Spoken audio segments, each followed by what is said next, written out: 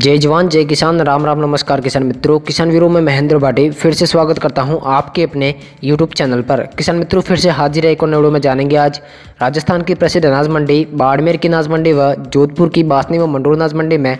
आज जो है, अनाज के भाव किस तरह रहे? आज जो है गेहूँ, तिल, तारामीरा, मूंग, मोट, गवार व जवार के भाव किस तरह रहे? मूंगफली के भाव में क्या तेज़ी मंदी देखी गई है? सब कुछ जानेंगे इस वीडियो में तो वीडियो को आपको लास्ट तक ज़रूर देखना साथ वीडियो पसंद आए तो वीडियो को लाइक कर।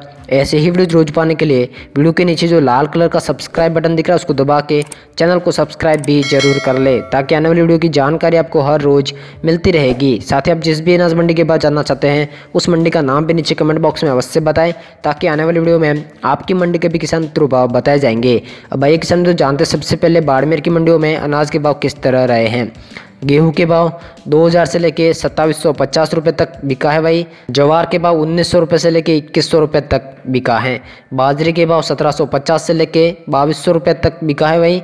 गवार लूज के भाव 6200 रुपये तक बिका है। गवार डिलीवरी के भाव 6350 तक बिका है भाई। जोधपुरी गवार 6400 रुपये तक बिका है। गवार गम, बारह हज़ार रुपये तक किसान मित्रों बिका है। सरसों के भाव छः हज़ार पाँच सौ तक बिका है भाई। मूंगफली के भाव जो है, पाँच हज़ार तीन सौ रुपये तक बिका है। मोट के भाव पाँच हज़ार से लेके छः हज़ार दो सौ रुपये तक बिका है भाई। मूंग के भाव छः हज़ार से लेके छः हज़ार पाँच सौ तक बिका है।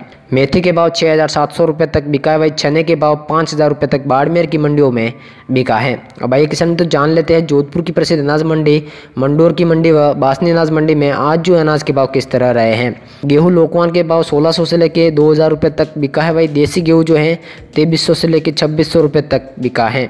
पुराना मूंग पाँच हज़ार से लेके पाँच हज़ार छः सौ रुपये प्रति क्विंटल तक बिका है। भाई नया मूंग जो है छः हज़ार से लेके छः हज़ार सात सौ रुपये तक बिका है। मोट के भाव पाँच हज़ार पाँच सौ से लेके छः हज़ार दो सौ रुपये तक बिका है। भाई रायडा के भाव जो है छः हज़ार छः सौ रुपये से लेके सात हज़ार रुपये तक बिका है। उड़द के भाव छः हज़ार से लेके छः हज़ार सात सौ रुपये तक बिका है। भाई पीली सरसों छोटी साइज़ के भाव सात हज़ार से लेके सात हज़ार दो सौ रुपये तक बिका है। पीली सरसों बड़ी साइज़ के भाव सात हज़ार पाँच सौ से लेके सात हज़ार सात सौ रुपये तक बिका है। भाई अरंडी छोटी साइज़ के भाव पाँच हज़ार पाँच सौ से लेके पाँच हज़ार नौ सौ तक बिका है। अरंडी बड़ी साइज़ के भाव पाँच हज़ार से लेके पाँच हज़ार पाँच सौ तक किसान मित्रों बिका है।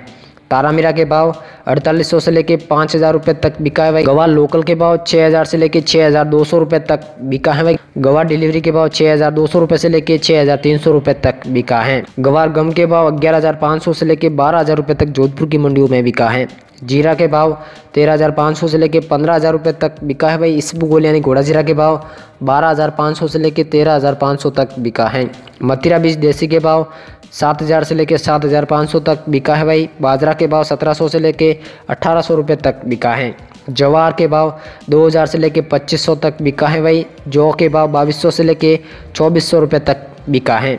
चने के भाव अड़तालीस सौ से लेके पाँच हज़ार रुपये तक बिका है भाई। तिल के भाव नौ हज़ार पाँच सौ से लेके दस हज़ार पाँच सौ रुपये तक बिका है।